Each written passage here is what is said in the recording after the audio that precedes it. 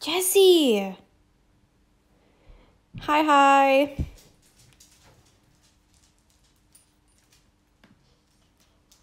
Okay, Jessie was convinced that there was somebody outside her house, and she just ran to the front door and started barking and barking and barking. And now she's obviously still convinced that there's somebody out there. She's just going,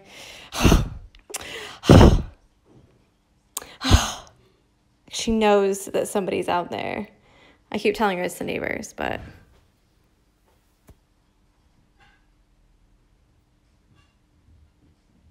Yeah, it's totally the neighbors. Right, so there was not going to be a stitch along today because our flight got delayed.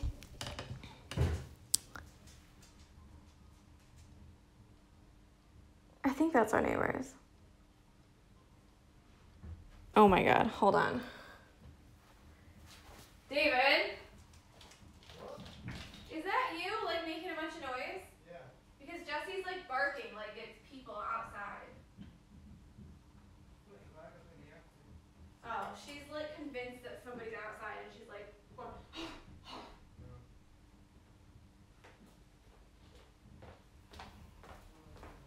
All right, I'm back. Sorry about that. I'm telling ya, she's convinced that somebody's out there. It's just David. okay, so I'm going to show you how to do the bike um, basket for tonight. Hi, Meg. Hi, Louise. First time you've been able to join. I'm so excited to have you. You have no idea. So this one might be a little bit longer, but that's only because you need to make some choices for yourself. So um, I'm going to show you what kind of choices you have to make right now. Um, in the bicycle pattern, where the basket is, um, I just kind of did like willy-nilly, like any kind of lines here to show that there's a, a basket. So what you need to choose is how wide or tight you want your basket to be. I hope that makes sense. So what I mean by that is that sometimes you can have a basket that's like this, so straight across, and then the next one might not be until here, here, here, or you can do it really tight. So it looks like, it almost looks like this. Okay. Hi. Welcome back. Yay! I made it. I made it here. So what I'm going to do is I might do one kind of stitch now and then on the other one do a more looser stitch and then just maybe post a picture of it in my stories. So what we're going to do is get your brown so you can't tell it in this kind of light because this is just like warm kitchen light. It's 8.20, so it's quite late. I'm back, Dawn.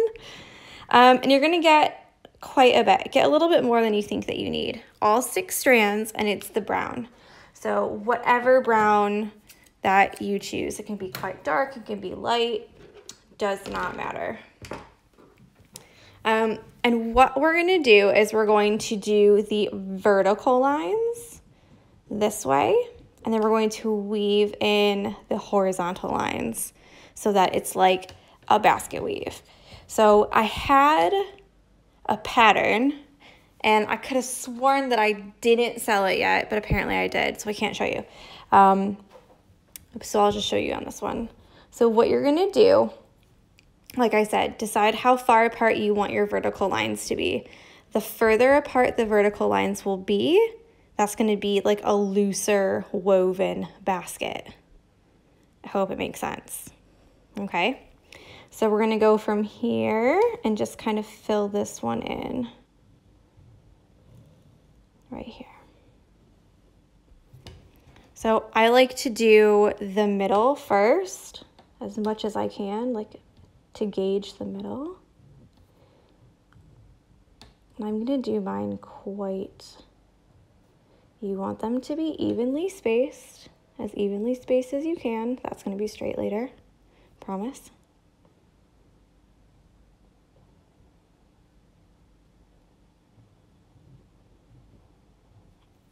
And if you notice, the top's not very even. So this will be a time when you might want to make the top even. Okay? Let's see if Spotify will let me because earlier it just kicked me off.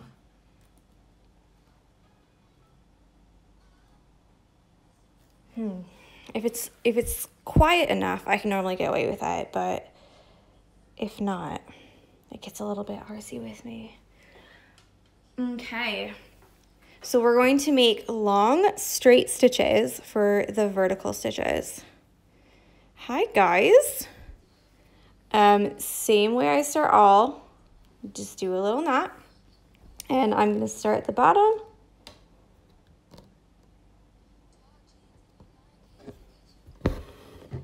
Whoop. And you're gonna go all the way to the top. So this is a weaving stitch.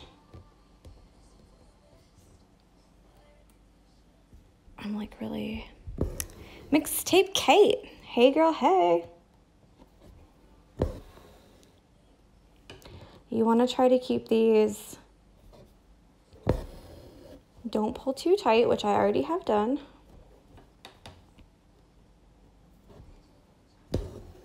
So the question is, who's all caught up on the pattern and ready to do this part now?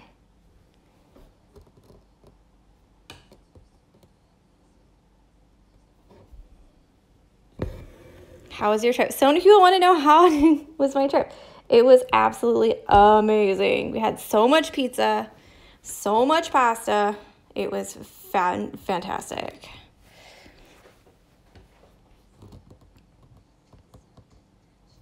Robin says that she is all caught up and ready.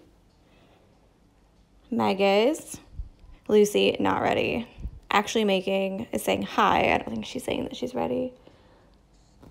So this one I think I'll be a little bit looser. You'll see what I mean in a minute. Stitch My Heart is doing a full catch up today and tomorrow. With my pink hoop, I definitely, I definitely have a lot to do still. But my big thing is the colors. I can't choose the colors. So every time I sit down to do it, I take probably four times as long as I should because I can't I can't choose the colors, guys. KV Stitches. I love that I can actually watch it live since I'm in the States. I know, I know. I keep saying I'm to do one in the nighttime, but the light is just not that good. Like, I just don't think that's that great. So, it's like way better in the daytime. I need to get one of those um, like daylight bulbs and just put them in the kitchen. But it's like if you do one, you have to do all of them. And I've got one, two, three, four, six, six lights in here. So we were going to do it the last time that we went to Ikea. We were like, let's just change them all. It'll be nice and bright. No more yellow and we were prepared to pay any of the like all of the money as it didn't matter. We just were like we just want it to be light and bright and airy. And um i'll show you later but they're like the big round like bulb. Like that doesn't that doesn't make any sense. The big round bulb bulbs? And they only had one so that put a damper into my plans. So on this part, just kind of make it up. It's totally fine.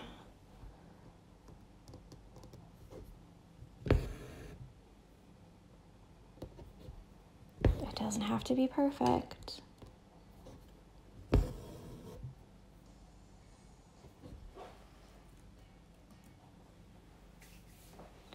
Okay. So then after you have all of your vertical lines, you can do them as close as like literally one per thing, meaning like one one string apart.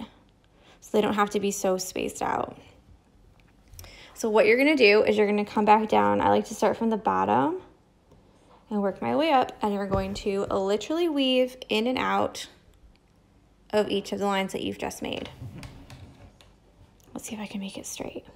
So I'm gonna go under first, over, under,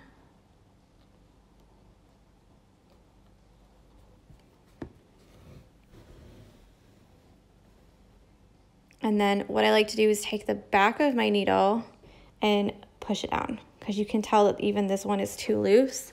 So maybe I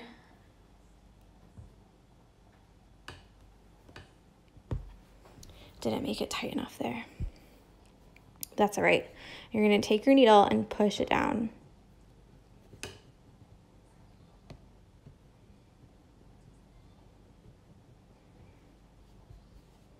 Okay, and what I like to do, which other people sometimes don't like to do, is I will put it down where I want it to go because I want to follow this shape here. So if you just come up and do it again, it's going to only be as wide as these are, whereas I want it to follow the shape. So I'm gonna go and put my needle down at the very end. You're gonna go over under each and every other one. So I'll show you again. I feel like you can't see this so, so well. So this one I've gone up and you're gonna do the opposite of what you've just done. Is that a little bit better maybe? So you can see I've gone, I came up here, I went under, over, under, over, under, over, under, over, under, over, under, and I went down because I want to do the shape of my basket. I don't want it to only go to the end of each of my lines. Does that make sense? So now this one, I'm going to do the opposite. So this one right here, I went under, this one I'm gonna go over.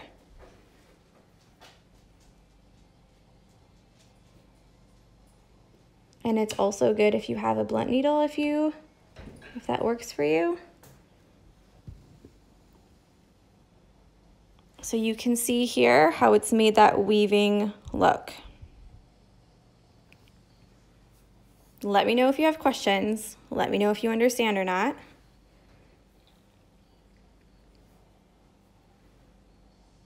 It is a little bit like difficult to show. But that's why I started doing the video last last Monday and I was like, nope, this is not gonna work. I need people. Hi, hi, Melissa. Melissa?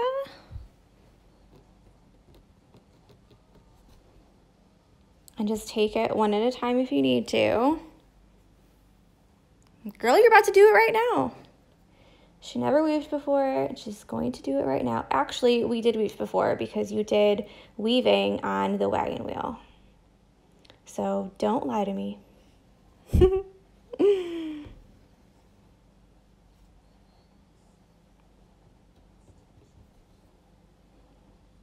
So this one is finishing. How am I ever going to choose basket colors? Any color basket you want. It doesn't, doesn't have to be brown. It can be white. It can be pink, whatever. So this end one, I finished with an over. Do you see? So I'm going to put it back down into the fabric. Okay. And I'm just gonna push them down. You might have to go back, um, especially on the very first one because my basket is slightly curved, which means that a straight line is not gonna get that little curve on the bottom. So I might have to go back and add another one there, okay? Please ask questions if you have to. If you don't get it, there's no shame in asking questions because odds are someone else has the same question. So I'm gonna do one more way the other way so you can see again. I'm gonna go up again here. And I'm trying to get mine as close as I can, but you don't have to. You can even make them farther apart. Oops, so, sorry, sorry, sorry. so that you can see some of the white fabric behind. Okay, so it's literally, you're just weaving back and forth, but it's up to you how you want them to look. So like I said before, they can be quite, you just go up. For the vertical lines, Melissa, you just go up, one big long stitch, and then over, down, up, down, just back and forth. That's okay.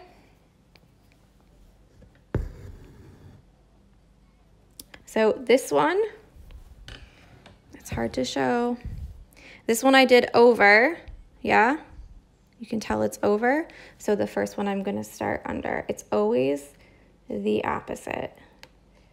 You wanna have that woven look. And you can even see here, it is over, under, over, under, over, under, all the way across. Yeah? see if I can pull it. That one's quite tight.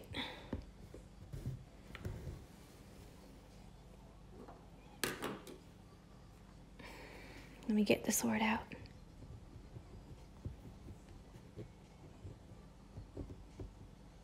Okay, so places, oh, thank you. So places like this, you're gonna have a bit of a trouble because it goes around the shape of the leaf. Yeah? So because we're only working in straight lines, once I get to this one, I will have to go just to here and then put my needle back down. Does that make sense? And then I can put it back up again here and continue with my over, under, over, under. So it'll be the same for here. This one I'll only going over, under, over, under three strands because it's just these three that are visible. Making sure that you go down in the fabric and up in the fabric so that it looks like it's a part of the pattern, not kind of up off the pattern like an actual weave would be. Oh, this one's so hard to explain.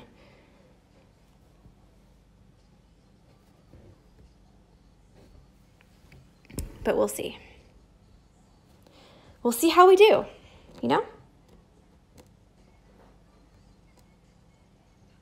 So this one, since I'm stuck by the leaf, and the last one, do I have a knot? No.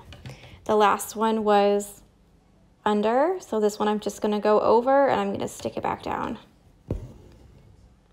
And this is kind of where your pattern, you'll either make or break it because you want these lines to look like they're straight across because basket weaves are straight across. they don't ever go like this. They don't ever go like this. They're never wonky like that. So you kind of want them to go to go straight. So I'm just going to quickly fill up this one. This little area because I know it's only one stitch. Yeah.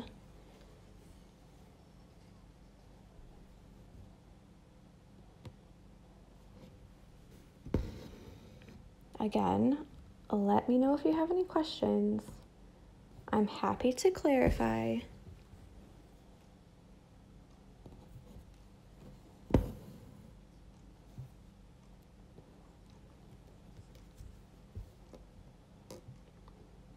I notice um, for the ones that I go under, I tend to go really close to this leaf because it's easier to go under this way and, and pull it when there's nothing here than there would be for me to go under this way and then have all of these stitches to try to play with and get out of the way, etc., etc.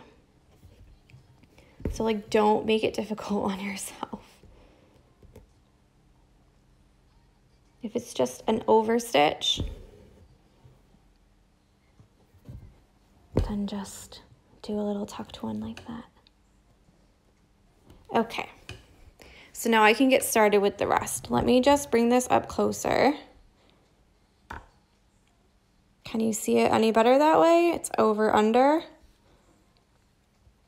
here because my line my vertical line went into this leaf. So for this section, I've just had to fill that in by itself. Yeah? And the other ones, I'm holding this with one hand, so I'm sorry if it's wobbly. The other ones are all weaving a basket, over, under, over, under, and then the next row is opposite. Okay. Okay. I hope I hope I'm explaining it right. oh, Tori. So I'm using six strands, Melissa, yeah. So here I'm going to come up in the middle. And the only thing that you need to think of is the row below it. Did you go over or under? Because you want to do the opposite. Yeah?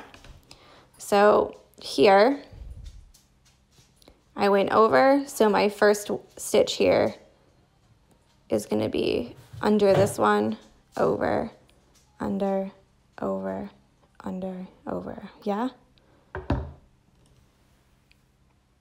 Okay. If you have to turn it sideways to make it easier to go in and out, you can do that as well. Because I'm going to do that just now. Jesse's decided that it's playtime.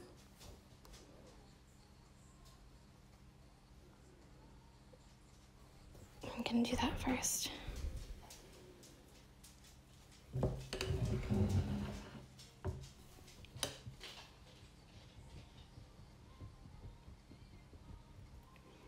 I think the best way for this to look consistent is to just keep your spacing the same. So I've done four here. They're all, I'm gonna make it closer. They're all quite evenly spaced. None of them are kind of squished together at the bottom. Uh, obviously I haven't done the top, so you can't see that. Um, but you wanna keep them all consistent. You don't have to do, okay, um, Lizetta. I don't know your real name. I only know Lizetta. I'm sorry. Um, what you can do is you can, if you have enough space, you can always squeeze another row of stitches in there. So she's just said, I just realized I did both the first two rows the same. Dope. What you can do is you can squeeze one in if you have space and make the bottom one just go down lower like that. Or you can undo it. It's up to you. But sometimes with weaving, with weaving especially, I'm like, I'm not doing that again. Not that I don't like it. It's just that it's like sometimes it's difficult to get your needle over and under and over and under all those times, all those times. The effect is beautiful. Don't get me wrong. Baskets, picket fences, regular fences, um, woven rugs, things like that. Mm. I'm to go down here.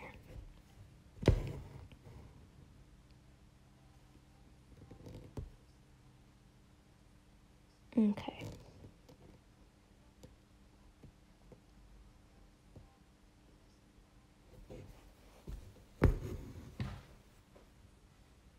Lizetta is your real name. Oh, I love that.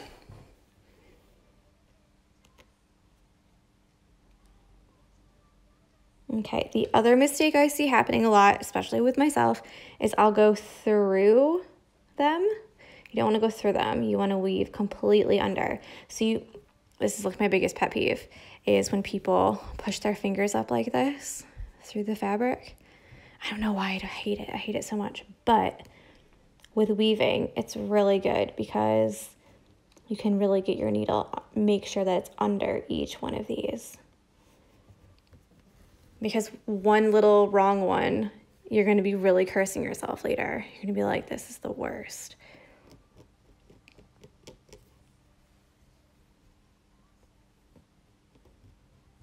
Okay. Any other questions? Because I really don't want to keep you so long. One, it's Saturday night. I mean, I'm not doing anything. I'm literally just unpacking. So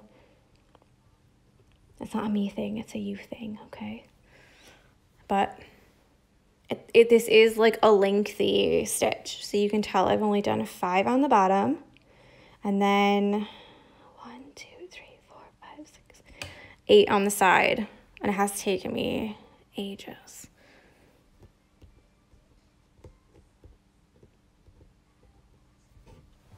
So I really don't want to keep you all night.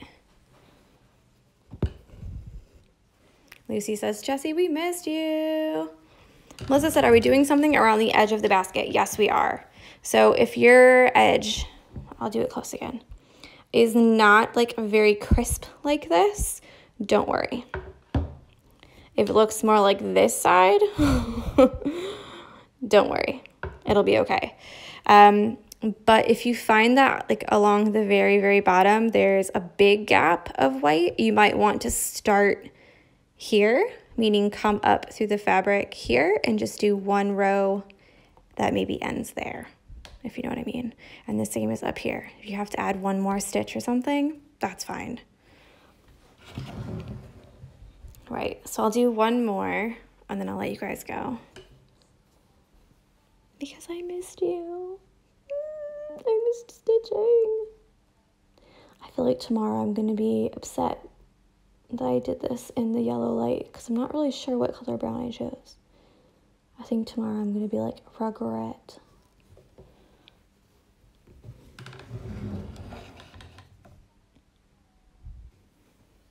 So again, my tips are don't pull too tight, keep them consistent, and make sure you're doing over, under, over, under and then the opposite for the next row.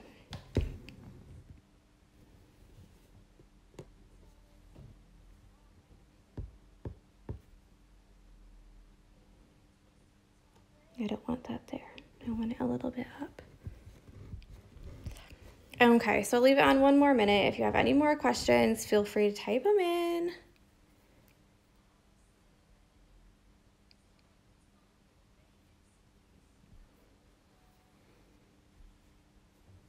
yeah don't don't be afraid to like take it out so mine the bottom where i inserted it was looking like that so obviously i want to take it out and make sure that it's straight across because it really does make a difference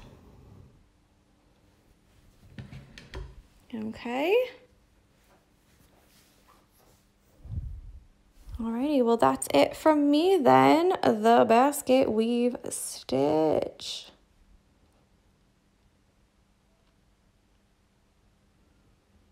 Melissa, you are so welcome. She said, Thank you for hosting this. It's been so much fun. Like, I think I'm the one that's having the most fun out of everybody. I'm not gonna lie. And my husband David is now saying, um, We have to make sure that we get home so that you can do a live for your fans. I'm like, My fans? I don't have fans. What are you talking about? They're all friends. They're like all my friends. I feel like you guys are all my friends, not fans. We're all just friends. We're all hanging out. We all like to stitch. It's good. I like that. Oh, Lucy, I miss you too. I feel like I feel like I'm already planning my next one because this was so fun. So, fan friends, Dawn. Not fans. I feel like that's so weird. Like I like literally every time that someone comments or anytime someone likes something, like you guys are like all all my friends. I don't like saying like friend like fans or customers or like followers. I don't think that's it has to be both ways, you know? Like a a friendship, partnership. all right, supporters. Yes. But more, more than that. All right, well, I'll let you guys go. Have a great Saturday night. Um, if you have any questions, feel free to message, and I'll be hanging around for a while to answer any that you've got. All right? Have a great night, and I'll talk with you tomorrow. Bye.